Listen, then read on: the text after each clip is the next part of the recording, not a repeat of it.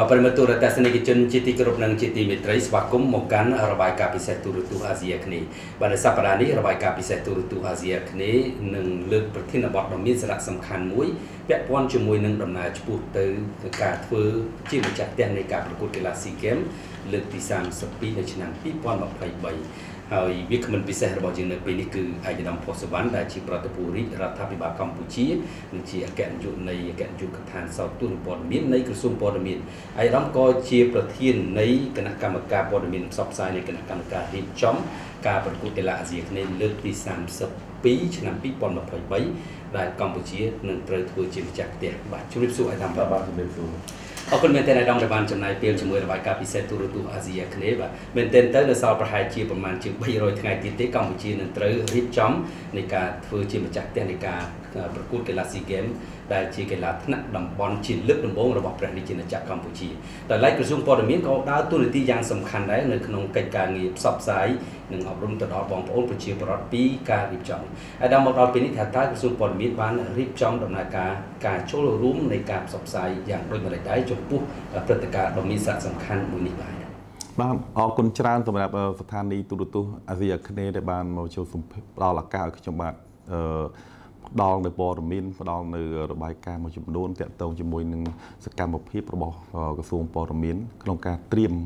ដំណើរឆ្ពោះទៅកាន់ SEA Games នៅឆ្នាំ2023អញ្ចឹងគិតត្រឹមថ្ងៃនេះថ្ងៃទី8កក្កដាឆ្នាំ2022នេះបើយើងគិតពីថ្ងៃនេះរហូតដល់ថ្ងៃរៀបចំពិធី SEA Games ទាំងមូលមកតែម្ដងគឺសល់ពេល300ថ្ងៃគត់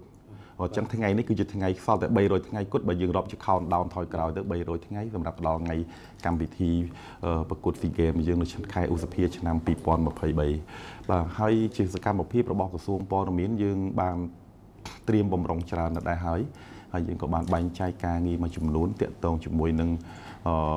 អគ្គនាយកដ្ឋានជំនាញចំណុះឲ្យក្រសួងព័ត៌មានទាំងអស់យើងឃើញមានអគ្គនាយកដ្ឋានវិទ្យុជាតិទូរទស្សន៍ជាតិ ក៏ដូចជាទីភ្នាក់ងារសារព័ត៌មានកម្ពុជាអាកាពេហើយនិងអគ្គនាយកដ្ឋានព័ត៌មាននិងសោតទស្សន៍នេះដែលធ្វើជាជាអង្គភាពមួយ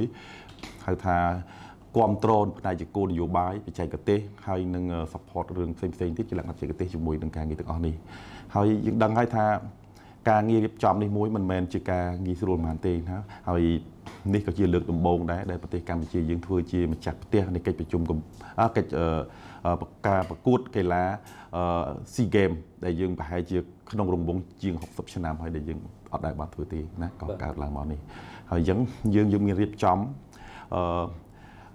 យើងដឹងថាកីឡា SEA Games នេះមិនមែនធ្វើតែនៅភ្នំពេញទេគឺយើងមានធ្វើនៅតាមខេត្តមួយចំនួនទៀតដូចជានៅខេត្តសៀមរាបនៅខេត្តមាត់សមុទ្រមួយចំនួនដូចជាខេត្តបរសៃអនុខេត្តកំពតនិងខេត្តកែបអញ្ចឹងយើងមានការត្រៀមបំរុងជាលក្ខណៈបច្ចេកទេសសម្រាប់គ្រប់គ្រងផ្ដល់ ជាព័ត៌មានជាវីដេអូជាជារូបព័ត៌មានទាំងអស់ពីតំបន់ទាំងនោះត្រឡប់មកមជ្ឈមណ្ឌលកណ្ដាលនៅឯភ្នំពេញដែលយើងអាចហៅថាជាមជ្ឈមណ្ឌល International Broadcasting Center ឬនឹង Main Press Center បានន័យថាជាមណ្ឌលព័ត៌មានធំមួយហើយនឹងមណ្ឌលផ្សព្វផ្សាយ សោតទស្សន៍មួយធំនៅក្នុងភ្នំពេញបាទមែនទែនទៅអាដាមថាខាងបណ្ដាញទូរទស្សន៍នៅប្រទេសកម្ពុជានិងសារព័ត៌មានអាចចូលរួមចំណែកយ៉ាងណាខ្លះជាមួយនឹងក្រសួងព័ត៌មានដើម្បីធ្វើការផ្សព្វផ្សាយនិងចូលរួមផ្ដិតយកព្រឹត្តិការណ៍ដ៏មានសារៈសំខាន់នេះបាទជាសំណួរមួយដែលល្អណាស់ហើយនេះគឺជាការឆ្លើយតបជាមួយនឹងអនុសាសន៍តែនាំរបស់សម្ដេចនាយករដ្ឋមន្ត្រីថ្នើឲ្យស្ថានីយ៍ ទូរទស្សន៍ទាំងអស់វិទ្យុទាំងអស់ព័ន្ធផ្សព្វផ្សាយទាំងអស់ចូលរួមជាមួយរាជរដ្ឋាភិបាលធ្វើយ៉ាងណាផ្សព្វផ្សាយនៅសកម្មភាពកីឡាទាំងអស់នេះឲ្យបានអឹកធឹកមែនតែនសម្រាប់ជូនដល់ប្រជាពលរដ្ឋយើងគ្រប់ច្រកល្ហកបានទស្សនាបានអញ្ចឹងការងារនេះយើងមានជាពីរទម្រង់តាមតែការដែលយើងបានឯកភាពគ្នាកន្លងទៅទម្រង់ទី1គឺមានកីឡាប្រភេទសក្តាសក្តានិពលអញ្ចឹងគាត់ថាយើងមានមួយចំនួនត្រូវបានរៀបចំដោយ គណៈកម្មការជាតិអូឡ িম্প ិកតែម្ដងដើម្បីផ្ដិតរូបនោះឲ្យវាវាសមស្របទៅតាមលក្ខណៈបច្ចេកទេសដូចជាកីឡាហែលទឹកឬក៏កីឡាបាល់ទាត់អីដែលវាថាជាសក្តានុពលយើងថតវាឲ្យត្រឹមត្រូវតាមលក្ខណៈបច្ចេកទេសសម្រាប់អីផ្សព្វផ្សាយជូនក្នុងជាតិផងទៅជាអន្តរជាតិផងណាប៉ុន្តែនៅសល់កីឡាមួយចំនួនទៀតដែលយើងមានជាលក្ខណៈធម្មតាដែរទេមិនសូវជាការចាប់អារម្មណ៍ច្រើនយើងនឹងធ្វើការចែកជូនឲ្យទៅបណ្ដាញផ្សព្វផ្សាយក្នុងស្រុករបស់យើងនឹងអាចចែកគ្នា ទៅថតហើយយកមកចូលឲ្យបណ្ដុលព័ត៌មានហើយបណ្ដុលព័ត៌មានចែកទៅឲ្យប្រព័ន្ធផ្សព្វផ្សាយទាំងអស់ធ្វើការផ្សព្វផ្សាយបន្តហ្នឹងហើយចំពោះកីឡាដែលសក្តានុពលដែលខ្ញុំលើកឡើងបាញ់មិញនេះសម្រាប់ស្ថាប័នទូរទស្សន៍ក្នុងស្រុកក៏មានចោតអីដែរពិតមែនតែថតផលិតដោយ អ្នកជំនាញប៉ុន្តែយើងនឹងចែកផ្សាយឲ្យទៅស្ថានីយ៍ទាំងអស់យកទៅផ្សព្វផ្សាយដោយ free ដូចគ្នាទេអត់មានបញ្ហាអីទេបាទហើយរហូតមកដល់ពេលនេះយើងមានក្រុមបច្ចេកទេសទាំងការថតរៀបចំរួចរាល់យ៉ាងណាហើយយើងដកស្រង់បទពិសោធន៍ពីបណ្ដាប្រទេសមួយចំនួនយ៉ាងដូចម្ដេចដែរបាទបាទយើងជាការបទពិសោធន៍គឺយើង មានបណ្ដាប្រទេសមួយចំនួនដែរកន្លងទៅគណៈកម្មការរបស់យើងក៏ដូចជាមន្ត្រីជំនាញទាំងខេមសុកបានទៅសិក្សាបទពិសោធន៍ពីបណ្ដាប្រទេសមួយចំនួនដូចជានៅហ្វីលីពីនដូចជានៅឥណ្ឌូនេស៊ីហើយថ្មីថ្មីនេះនៅប្រទេសវៀតណាមក្នុងការរៀបចំអញ្ចឹងយើងមើលទៅឃើញថាពិតមែនតែយើងដូចជាទម្រង់ថានៅខ្វះខាតសម្ភារៈមួយចំនួនប៉ុន្តែយើងបានត្រៀមសហការជាមួយនឹងក្រុមហ៊ុនដែលនេះដែល មានសក្តានុពលហើយតែគាត់ខ្ញុំមិនទាន់បង្ហាញថាក្រុមហ៊ុនណាទេហើយយើងអាចថាយើងកំពុងធ្វើការងារយ៉ាងជិតស្និទ្ធជាមួយគេហើយការងារនេះអឺក៏យើងធ្វើបទបង្ហាញជូនទៅដល់បណ្ដាក្រុមប្រឹក្សាកីឡារបស់បណ្ដាប្រទេសទាំង11ទាំង10មិនន័យថាបូកនឹងកម្ពុជាទៀតផងយើងមានទាំងអស់11ប្រទេសណាយើងមានអាស៊ានបូកនឹងទីម៉ូឡេសអញ្ចឹងដល់អញ្ចឹងគិតថាអញ្ចឹងយើង ធ្វើបទបង្ហាញនេះជូនទៅដល់ក្រុមប្រឹក្សាកីឡានោះហើយហើយគេមានការចាប់អារម្មណ៍ហើយនឹងគេទទួលស្គាល់ទៅទៅក្រុមហ៊ុនដែលយើងជ្រើសរើសយកមកធ្វើជាដៃគូនេះហើយកិច្ចការងារចុងក្រោយប្រហែលជានៅក្នុងដំណាច់ពាក់កណ្ដាលខែកក្កដានេះយើងនឹងធ្វើការប្រជុំសម្រាប់នៅចំនួនកីឡាចំនួនវិញ្ញាសាដែលយើងនឹងដាក់នឹងត្រូវដាក់នៅឆ្នាំ 2023នេះបាទអាចប្រមាណដែរហើយដល់ប្រភេទវិញ្ញាសានេះតាមតាមយើងមិនទាន់ច្បាស់លាស់ទៅទេដូចខ្ញុំលើកឡើងអញ្ចឹងថាវានៅសល់ការសម្រេចប្រហែលជានៅក្នុងថ្ងៃទី11 12 13នេះនៅក្នុងប្រឹក្សាកីឡានឹងធ្វើការប្រជុំគ្នាច្បាស់លាស់ប៉ុន្តែយើងគិតថារង្វង់ប្រហែលជាអាចក្នុងចំណោមប្រហែលជា40កីឡាប្រភេទកីឡាដែលនឹងដាក់ចូលនៅក្នុងឲ្យទៅក្រុមប្រឹក្សានេះពិនិត្យមើលតើតើយើងគួរនៅសម្រាប់ឯណាអញ្ចឹងក្រុមប្រឹក្សានេះ អនុម័តហើយសហព័ន្ធអនុម័តហើយយើងនឹងអនុវត្តតាមនោះឯងបាទពីពេលនេះតទៅបាទតើក្រសួងព័ត៌មានរៀបចំផែនការយ៉ាងណាទៀតដើម្បីអនុវត្តការងារឲ្យកាន់តែមានប្រសិទ្ធភាពជាពិសេសគឺការជំរុញធ្វើយ៉ាងណារៀបចំការងារបច្ចេកទេសការផ្សាយផ្ទាល់គឺមានសារៈសំខាន់ណាស់ហើយយើងនឹងផ្សាយផ្ទាល់នៅទូរទស្សន៍រដ្ឋឬក៏ទូរទស្សន៍ឯកជនដែរបាទដូចខ្ញុំជម្រាបខាងដើមអញ្ចឹងថា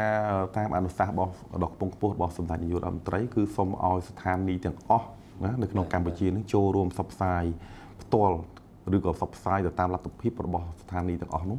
ឲ្យបានធ្វើម៉េចឲ្យបានអឹកថឹកកម្មវិធីនេះអញ្ចឹងអាស្រ័យទៅលើលទ្ធភាពរបស់ស្ថានីយ៍ទាំងអស់នោះទេណាអាចជ្រើសរើសយកប្រភេទកីឡាណាខ្លះទៅធ្វើការផ្សព្វផ្សាយណាពីព្រោះកីឡានៅពេលដែលយើងមើលការប្រកួតអញ្ចឹងក្នុងរយៈពេលកន្លះខែក្នុងការប្រកួតហ្នឹង យើងមានកីឡា40ប្រភេទហើយកីឡាខ្លះធ្វើកណ្ដាលតណាគ្នាហ្នឹងយើងមិនមែននេះទេឧបថាឥឡូវម៉ោងហ្នឹងជាម៉ោងបាល់ទាត់ប៉ុន្តែម៉ោងហ្នឹងក៏បាល់ទះដែរអញ្ចឹងតើស្ថានីយ៍គាត់មួយមួយគាត់ជ្រើសយកមួយណាគាត់យកបាល់ផ្សាយបាល់ទាត់ឬក៏ផ្សាយបាល់ទះណាអញ្ចឹងយើងចែកគ្នាឲ្យវិញឲ្យបានសពទលំទលាយសម្រាប់ អតិថិជនរបស់យើងសម្រាប់អ្នកទេសនារបស់យើងថាបើគាត់ចូលចិត្តកីឡាបាល់ទាត់អញ្ចឹងគាត់មើលប៉ុស្ណាហើយបើគាត់ចូលចិត្តបាល់ទះគាត់មើលប៉ុស្ណាបើយើងធ្វើដំណើរគ្នាអញ្ចឹងអញ្ចឹងយើងទៅចែកគ្នាអញ្ចឹងអាហ្នឹងនៅពេលដែលយើងមានវិញ្ញាសាច្បាស់លាស់យើងនឹងអាចសហការគ្នាធ្វើការងារជាមួយសមាគមទូរទស្សន៍ធ្វើការងារជាមួយនឹងស្ថានីយ៍ទូរទស្សន៍ទាំងអស់អង្គភាព ផ្សព្វផ្សាយទាំងអស់ដើម្បីធ្វើម៉េចចែករំលែកការផ្សព្វផ្សាយនោះឲ្យបានទូលំទូលាយគ្រប់ច្រកល្ហកទាំងអស់បាទតើឡៃអាដាមតើក្រសួងព័ត៌មាននឹងរៀបចំមន្ត្រីចំនួនប្រមាណដែរដើម្បីរៀបចំនៅព្រឹត្តិការណ៍ដ៏មានសារៈសំខាន់នេះបាទជារួមហ្នឹងហើយយើងគិតថានេះគឺជាបញ្ហាប្រឈមមួយដែរសម្រាប់ប្រព័ន្ធផ្សព្វផ្សាយជាទូរទស្សន៍យើងអត់ចោតទេណាប៉ុន្តែយើងប្រហែលជាមានការចោតខ្លះជាមួយនឹងកម្លាំងថប់ ខាងថតរូបដោយឯកឧត្តមរដ្ឋមន្ត្រីបានលើកឡើងអញ្ចឹងថាយើងឲ្យជាទៀមទាត្រូវការអ្នកស្ម័គ្រចិត្តប្រហែលចូលទីខ្ទង់100អ្នកដែរដើម្បីធ្វើការផ្ដិតយករូបភាពពីព្រឹត្តិការណ៍ហ្នឹងពីគ្រប់ជ្រុងទាំងអស់ពីព្រោះយើងដឹងថាព្រឹត្តិការណ៍នេះកើតឡើងច្បាស់ជាមានភ្ញៀវទេសចរជាច្រើននឹងចូលរួមអញ្ចឹងយើងវាមានជ្រុងផ្សេងផ្សេងគ្នាអញ្ចឹងកន្លងទៅឯកឧត្តមរដ្ឋមន្ត្រីលើកឡើងថាលោកប្រហែលជានឹងសំណុំពរឲ្យមានបណ្ដុះបណ្ដាលអ្នកស្ម័គ្រចិត្តខាងថតរូប ថតរូប fix រូបថតយើងស្លឹកហ្នឹងហ្នឹងហើយដើម្បីយើងបានរូបថតទាំងអស់នេះទុកធ្វើការបោះពុំផ្សាយនៅថ្ងៃក្រោយទៅឬក៏យើងអាចថាផ្សព្វជួយផ្សព្វផ្សាយអំពីទេសចរយើងចាប់ពីពេលនោះទៅដែរបាទចុះដល់ឡែកអាដាមចំណុចខាងមួយទៀតថាតើនាយកព័ត៌មានឬក៏ផ្នែកព័ត៌មានដើរតួនាទីសំខាន់បែបណាខ្លះទៅនៅក្នុងកិច្ចការងារចូលរួមជាមួយនឹងខាងក្រសួងព័ត៌មាននេះឯកឧត្តមនៅក្នុងដំណាក់កាលដែលយើងកំពុងរៀបចំនេះបាទចំណុចនេះក៏ជាចំណុចសំខាន់មួយដែរ ក្រៅពីយើងគិតគូរថាកម្លាំងបច្ចេកទេសដែលក្នុងការថតពីព្រឹត្តិការណ៍អីហើយប៉ុន្តែយើងក៏ត្រូវការអ្នកដែលយល់ដឹងអំពីប្រភេទកីឡានីមួយៗអ្នកធ្វើអត្ថាធិប្បាយឲ្យវិទ្យុធ្វើអត្ថាធិប្បាយឲ្យទូរទស្សន៍ទាំងអស់ហ្នឹងគាត់ត្រូវតែមានជំនាញគាត់យល់ដឹងអំពីកីឡាជួនកាលកាលណាគាត់មិនយល់ដឹងកន្លែងខ្លះយើងមើលទៅឃើញដោយភ្នែកយើងអត់ចេះយើងថាហ្នឹងគេឆ្កងឬក៏យ៉ាងទៅណាដោយកន្លងទៅយើងធ្លាប់ឃើញហើយបញ្ហាយើងថា អញ្ញាកណ្ដាលនៅឯវៀតណាមមិនកាន់ស្អីគេលំអៀងអីយ៉ាងប៉ុន្តែនេះជាប្រភេទជាជាស្អីគេ guideline ជានីតិវិធីរបស់គេគេមានចែកអស់ហើយអញ្ចឹងយើងឯក្នុងការយើងអត់បានមើលនីតិវិធីហ្នឹងយើងតែយល់ឃើញថាហ្នឹងអូវាបំពេញអីអញ្ចឹងយើងចង់ឲ្យគ្នាយើងយល់ទាំងអស់យើងឲ្យឲ្យអ្នកដែលចូលរួមលេងកីឡាអីទាំងអស់ហ្នឹងឲ្យបានធ្វើម៉េច ឲ្យទទួលយកបាននៅការអធិប្បាយនេះកុំឲ្យយើងខ្លាចពីការអធិប្បាយមួយទៅជារឿងមួយដែលយើងទៅជារឿងមួយទទួលយកមិនបានដូចជាយើងកន្លងទៅមានអគ្គលេខាធិការខេមសុកគាត់លើកឡើងមួយចំនួននេះអ្នកកីឡាគឺជាប្រភេទកីឡាដែលមានសាមគ្គីភាពគ្នាដោយស្អីចឹងទៅណាអឺសាមគ្គីដោយ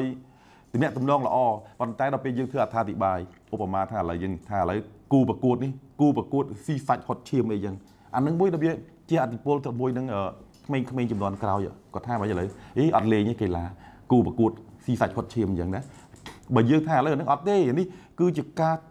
វាយចំលក្ខណៈបច្ចេកទេសអីអីត្រឹមត្រូវតាមក្បួនតាមខ្នាតទេអានឹងវាវាធ្វើឲ្យថាអានឹងគាត់មានភាពប៉ិនប្រសប់ក្នុងការធ្វើម៉េចយកឈ្នះផ្ដួលលើដៃគូនៅក្នុងពេលយ៉ាងហ្នឹងវារឿងមួយផ្សេងណាប៉ុន្តែយើងថាថាបើច្រឡំតិចវាអាចផ្សេងនឹងហើយដែលជាជាចំណុចមួយហើយក្រសួងត្រៀមខ្លួនឯងហើយថា ប្រហែលជានៅក្នុងបំណាច់ខែកក្កដានេះដែលយើងអាចថាដោយសារក្រសួងព័ត៌មានមានតរៈបន្តិចដែរដោយសារឆ្នាំនេះយើងត្រូវធ្វើកិច្ចចាស់ផ្ទះនៃកិច្ចប្រជុំកំពូលអាស៊ានថ្នាក់រដ្ឋមន្ត្រីការបរទេសអាស៊ាននៅក្នុងដំណាច់ខែនេះអញ្ចឹងចប់ពីខែនេះទៅប្រហែលជាមន្ត្រីថ្នាក់ដឹកនាំមួយចំនួនរៀបចំវគ្គបណ្ដុះបណ្ដាលជាមួយនឹងអ្នកអត្ថាធិប្បាយកីឡាអ្នកសរសេរព័ត៌មានកីឡាហើយជាមួយអ្នកបច្ចេកទេសអ្នកថតដែលអាចថានឹងអញ្ជើញអ្នកជំនាញមកពីក្រៅប្រទេសផងដើម្បីឲ្យគាត់បញ្យល់ថាឥឡូវវាមិនបានថតបានជ្រុងល្អមុំល្អឬក៏ យើងឲ្យគេអទេសនាអំពីប្រភេទសម្ភារៈកីឡាសម្ភារៈថតណាអាចថាជាកាមេរ៉ាបែបណាដើម្បីថតកីឡានោះបានទៅសមស្របជាមួយស្ថានភាពនេះបាទបាទអរគុណមែនទែនអាដាមអាដាមចង់បញ្ជាក់អាដាមថាពីព្រោះថាព្រឹត្តិការណ៍ដ៏មានសារៈសំខាន់នេះច្បាស់ណាស់ព្រឹត្តិជាមានអ្នកសារព័ត៌មានអន្តរជាតិព័ត៌មានអីជាដើមចូលរួមតែតើយើងនឹងមានការរៀបចំរបៀបម៉េចយើងចេញការឬក៏យើងអនុញ្ញាតឲ្យគ្រប់ចូលគ្រប់កម្មវិធីទាំងអស់ឬក៏យ៉ាងម៉េច បាទនេះយើងមានយើងបាច់ច្បាស់ជាមានការចែកបែងចែកគ្នាណាដល់ហ្នឹងជាប្រភេទនៅក្នុងជាធម្មមនុញ្ញរបស់សហព័ន្ធកីឡាស៊ីហ្គេមហ្នឹងគេមានចែងហើយហ្នឹងអញ្ចឹងប្រភេទបានអ្នកសារព័ត៌មានប្រភេទណាអាចចូលដល់កម្រិតណាចូលដល់កម្រិតណាគឺថតបានអញ្ចឹងអញ្ចឹងគឺមានចែងអស់ហើយយើងមិនលំបាកអីទេទេណានៅតែពេលដែលថាដូចខ្ញុំលើកឡើងមកអញ្ចឹងប្រហែលជាក្នុងរង្វង់ចប់នៃកិច្ចប្រជុំពាក់កណ្ដាលខែនេះច្បាស់លាស់ហើយ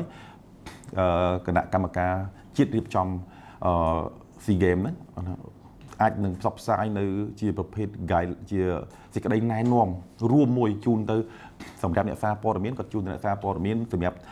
គ្រូបង្ហាត់គ្រូបង្វឹកក៏យើងមាន guideline សម្រាប់ប្រភេទកីឡាមួយមួយក៏យើងមាន guideline សម្រាប់មួយមួយទាំងអស់ដាក់ជូនទៅឲ្យយើងសិក្សាអញ្ចឹងយើងថាប្រហែលជា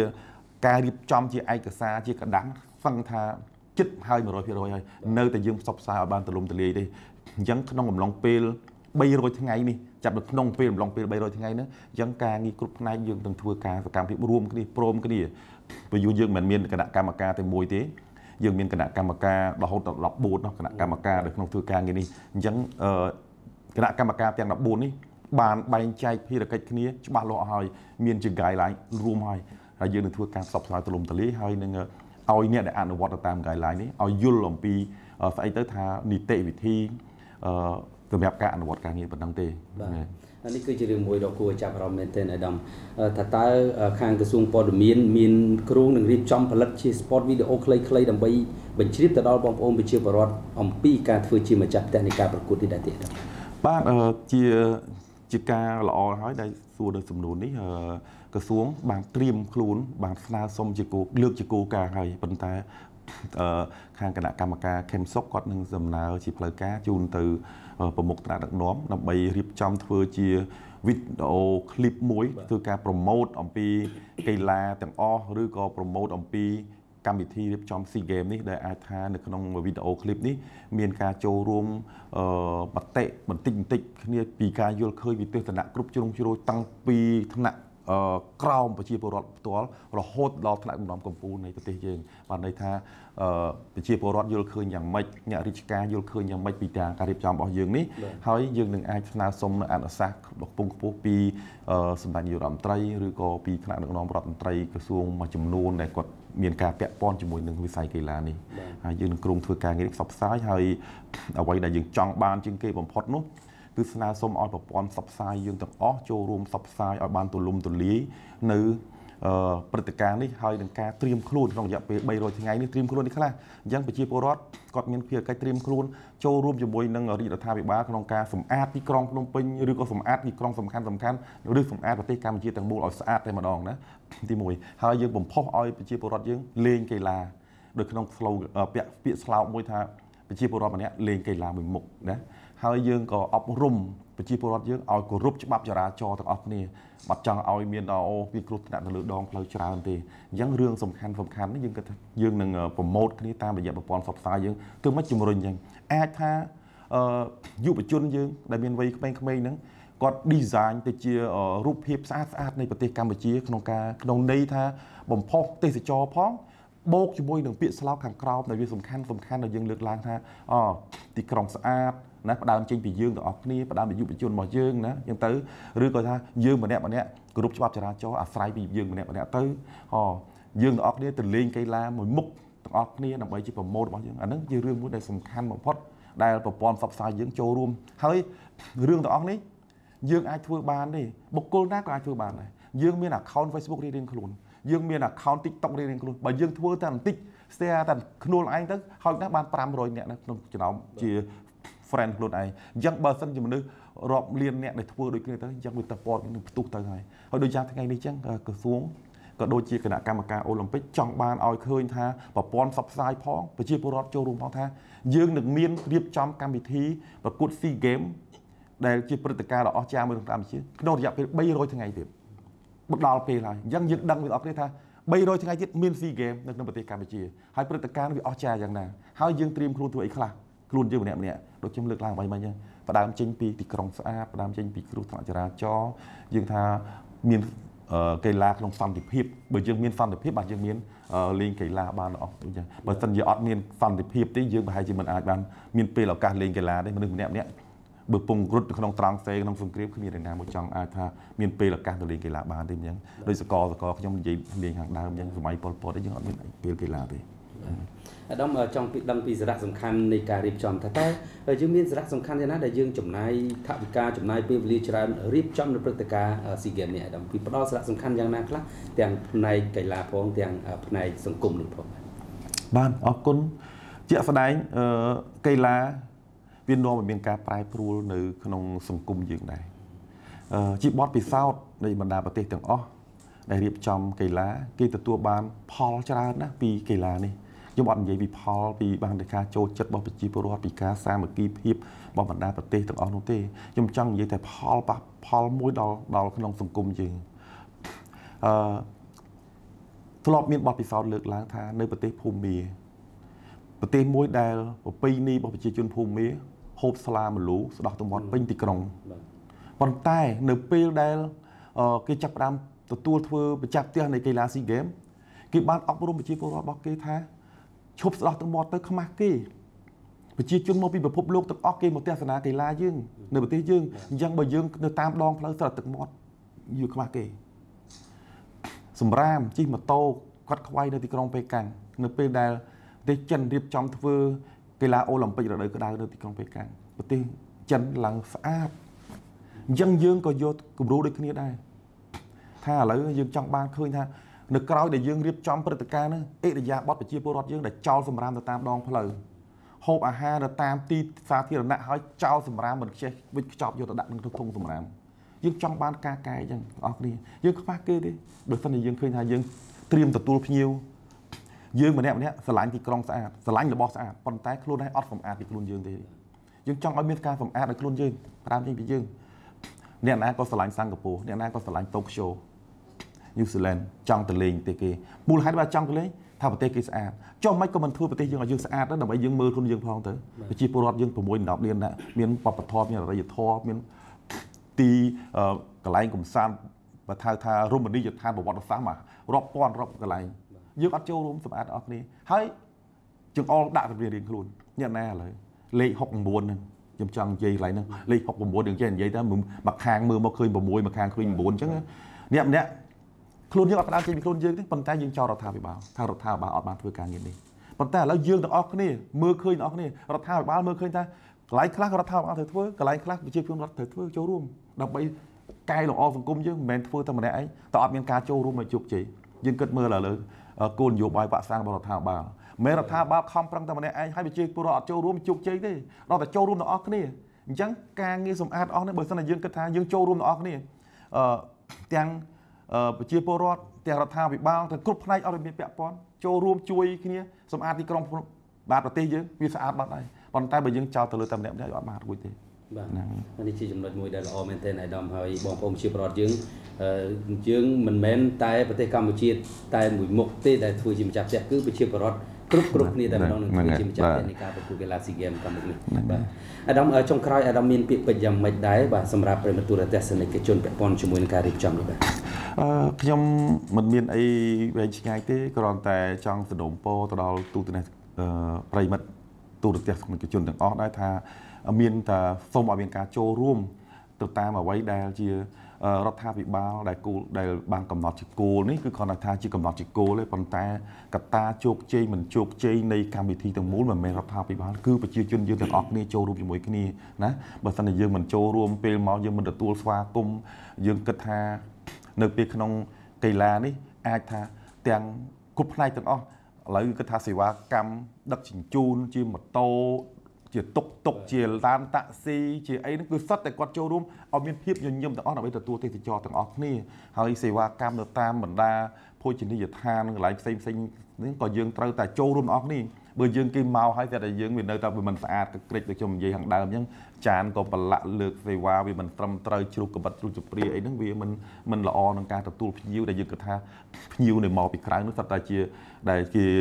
គិតថាជាភ្ញៀវឧត្តមឧត្តមរបស់យើងចូលមកទស្សនកិច្ចមើលប្រទេសយើងឲ្យនឹងឲ្យផលប្រយោជន៍ប្រទេសយើងហើយយើងអាចបានត្រៀមខ្លួនទទួលវាជាការខាតបង់របស់យើងទាំងអស់គ្នាមិនមែនខាតបង់តែរដ្ឋាភិបាលឬខាតអីទេហ្នឹងទាំងអស់គ្នាបាទបាទសូមអរគុណអរគុណមែនទែនអាយដាមដែលបានចំណាយពេលជាមួយរបាយការណ៍ពិសេសទូរទស្សន៍អាស៊ីគ្នាប្រសាសន៍របស់អាយដាមនេះគឺទូលំទូលាយមែនទែនបាទយើងនៅសល់តែរយៈពេល300ថ្ងៃទៀតទេគិតពីពេលនេះតទៅហើយសង្ឃឹមថាបងប្អូនប្រជាពលរដ្ឋនឹងចូលរួមទាំងអស់គ្នាមិនមែនថាបងប្អូនប្រជាពលរដ្ឋទៅចូលរួមរៀបចំទេប៉ុន្តែចូលរួមតាមរយៈនៃការសម្អាតបរិស្ថានទីក្រុងស្អាតរបស់យើងនឹងការរៀបចំផ្សេងៗនេះឲ្យកាន់តែល្អប្រសើរដើម្បីត្រៀមទទួលទេសចរនិងអ្នកមកកំសាន្តរបស់ប្រជាជាតិកម្ពុជានៅឆ្នាំ2023សូមអរគុណជាថ្មីម្ដងបាទសូមអរគុណបាទដែលបានចំណាយពេលជាមួយរបាយការណ៍ពិសេសបាទប្រិមត្តទូរទស្សនិកជនជាទីគោរពនិងជាទីមេត្រីបាននៅសប្តាហ៍ក្រោយយើងនឹងបន្តលំអិតជូនប្រិមត្តទូរទស្សនិកជននៅប្រធានបទសំខាន់សំខាន់បន្តទៀតពាក់ព័ន្ធជាមួយនឹងព្រឹត្តិការណ៍នៃការរៀបចំការធ្វើម្ចាស់ផ្ទះនៃកីឡាស៊ីហ្គេមលើកទី30នៅឆ្នាំ2023នៅពេលនេះខ្ញុំបាទសមណាននិងឯកឧត្តមផុសវណ្ណសូមអរគុណសូមគោរពបាទបាទសូមជម្រាបលា